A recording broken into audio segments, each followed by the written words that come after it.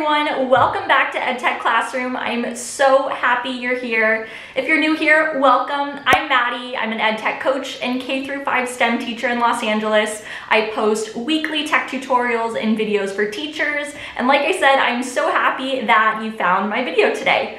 So for today's video, we're going to be talking about how to create mini maker spaces. So I am the host of a podcast called the EdTech Classroom Podcast. And one of my favorite topics to talk about on this podcast, and it's really been lately at least, one of the most highly requested topics for my podcast is how to create a mini makerspace. So today's video is going to be about exactly that. I'm gonna walk you through the process of creating a mini makerspace. If you're a parent watching, this is something that you can do with your children at home, or if you're a teacher, this is a great idea for you to implement whether you're teaching in person, you're teaching remote, or sort of a hybrid of the two. So what we're going to be doing today is basically we're going to be learning how to create maker spaces in a box. So basically the way it works is we're going to be gathering a bunch of different materials from recyclable materials to low cost items that you can find at a place like Target or the dollar store. We're going to be combining it all together and I'm going to give you some recommendations for STEM activities that you can do with your students or with your children. So the first stop on our list is we're going to check out Target. Now, one huge misconception about maker spaces is that they have to cost a lot of money. You know, I think when people hear the term maker space, they think of 3D printers, laser cutters, all that jazz, and stuff that's really expensive. And while these high-tech tools, of course, are really awesome if you have the budget for it, you can still incorporate STEM activities in your classroom on a very low budget. You know, so really the focus of today's video is not only gonna be how to create a makerspace, but really how to create a budget-friendly makerspace. So again, we're gonna be looking at recyclable materials, extremely low-cost materials. All right, so the first thing we're gonna do is we're gonna head to Target and I will see you guys there.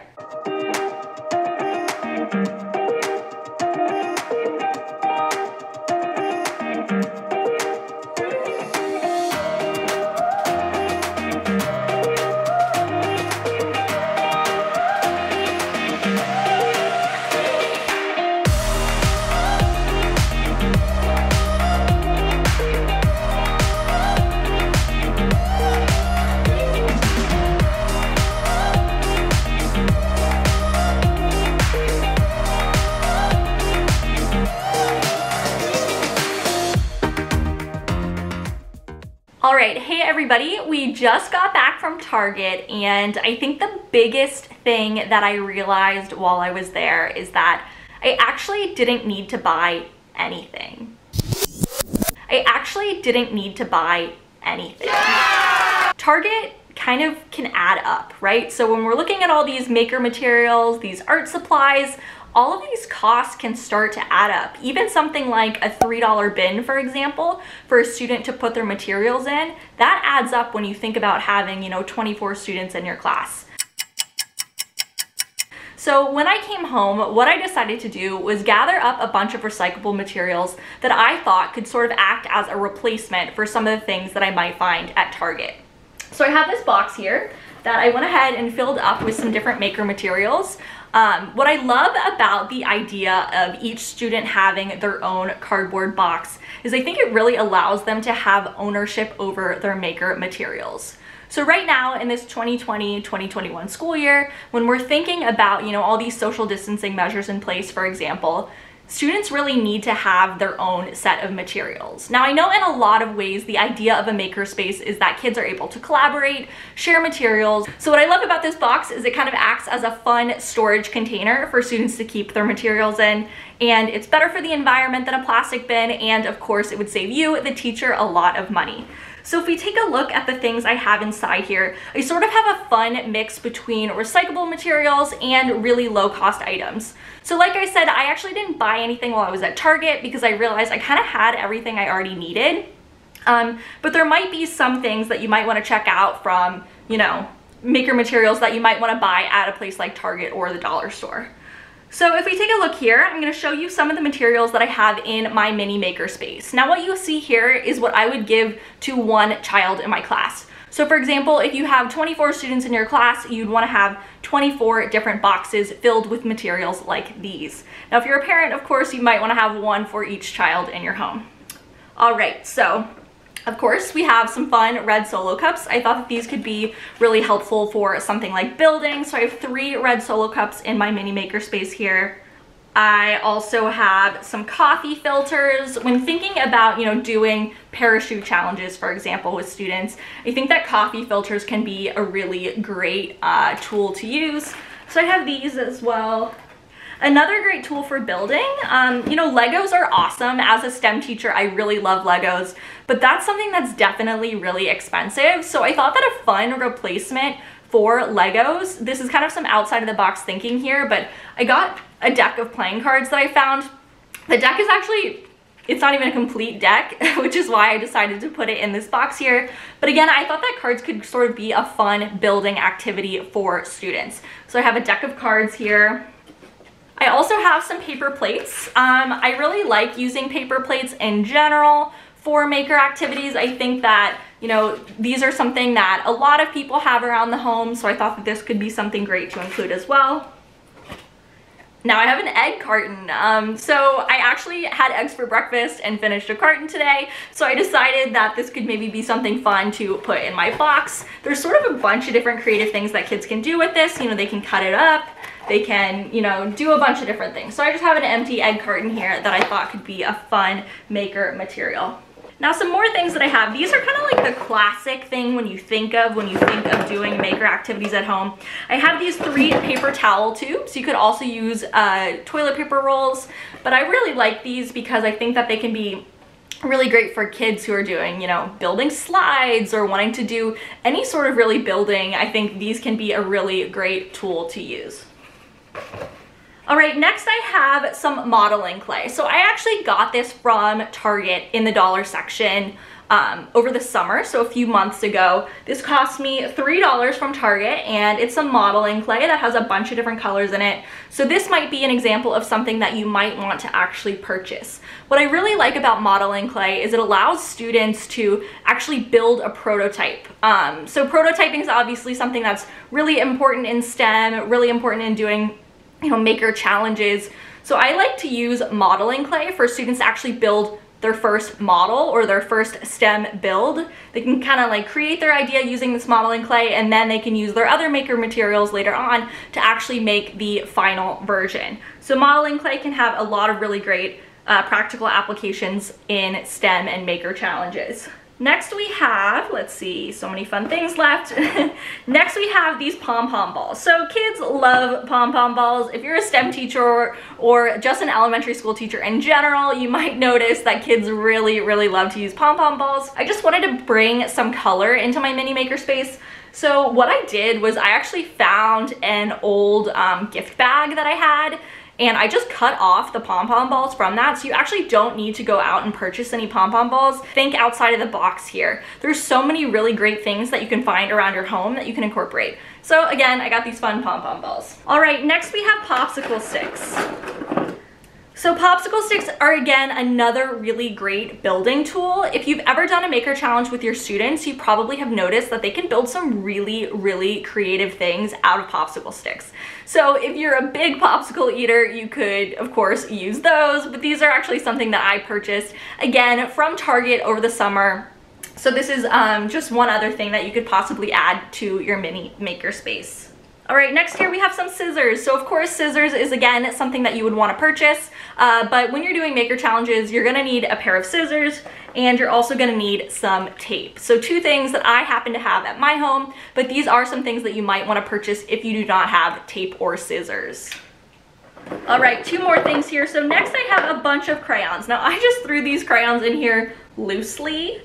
Um, so I just put a handful of crayons that I thought I could use. Ooh, they're falling everywhere handful of crayons that I thought could be uh, great for, you know, drawing out some ideas. So these crayons here. And the last thing I found is some string. So when you have a makerspace, you always wanna make sure that you have something that you can use to tie. So really you need to have things that you can tie with, tape, something sticky, glue, etc. So I found this string just somewhere. I'm not really sure what it belongs to. It looks like maybe it might have been on a, a bag or something, but I did find some string. Um, of course, if you have longer string, you could use that. If you don't have string at your home, you could also look into using something like dental floss. Um, so of course, floss might cost more than string, but if you're not looking to go out and purchase anything, that could be a nice alternative. All right, so that's everything that I have in my mini makerspace here. It might not seem like a lot, but I'm gonna give you guys some different ideas of things that you can actually create and build with your students using the items that you found in my mini makerspace here. So the idea of a mini makerspace is something that works really, really well if you're doing distance learning right now. Now I know that schools across the country are doing a bunch of different things. You know, we have schools that are learning 100% in person, 100% online, some sort of hybrid of the two. So I do know that every school is different and every classroom is different as well. But I think that this is a really great idea for something that you can do during a period of distance learning when kids are actually learning from home. You can create some sort of scavenger hunt, for example, where kids can go around the house and try and collect different materials like this. I actually have a really fun at-home learning scavenger hunt where kids can create their own mini makerspace. So I'll be sure to have that linked in the episode description down below. So I'm also gonna have an image overlay right here where you can actually see an example of what kids might have on their scavenger hunt sheet. All right, so again, like I said, I think this is a really great example of how you can have maker activities at home when kids are learning in distance learning. I do think this idea works really well in the classroom in a normal, typical school year. The idea of having a mini makerspace, like I said, really allows students to have agency over their materials. Uh, it can make it so that they can basically store something like this, store this box that I showed you guys underneath their seat, under their desk, and it can be something that they pull out when it's time to work on different maker challenges. Now, I'm not saying that teachers need to go out and buy 24 cartons of eggs. That would be ridiculous unless you really like eggs. But I just really gave this example here so that you guys can kind of understand how you can gather different recyclable materials. So for example, something that you could do with your students is you could actually send a letter home and ask each student to bring their own box to school. And so instead of you going out and buying plastic bins, each child in your class could have their own cardboard box to keep their materials in.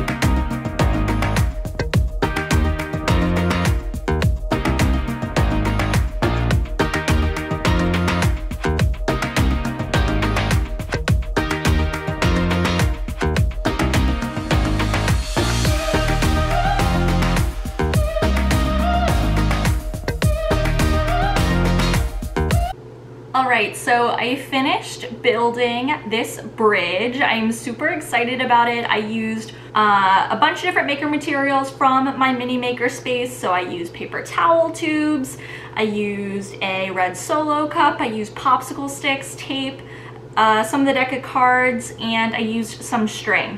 So I only used one material that wasn't in my mini maker space, and that is a hole punch.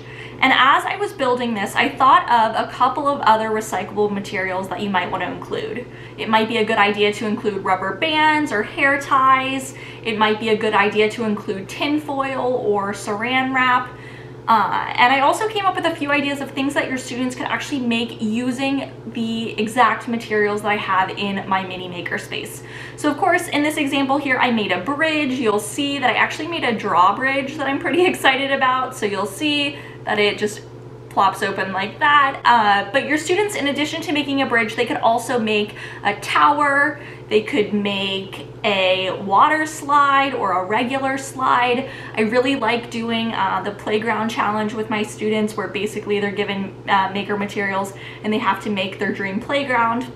So there's, those are just a couple of ideas that I came up with that your students could try out using the maker materials that are in their mini makerspace. All right, so hopefully this video is helpful in allowing you to come up and brainstorm some ideas for how you can actually incorporate recyclable materials into your classroom.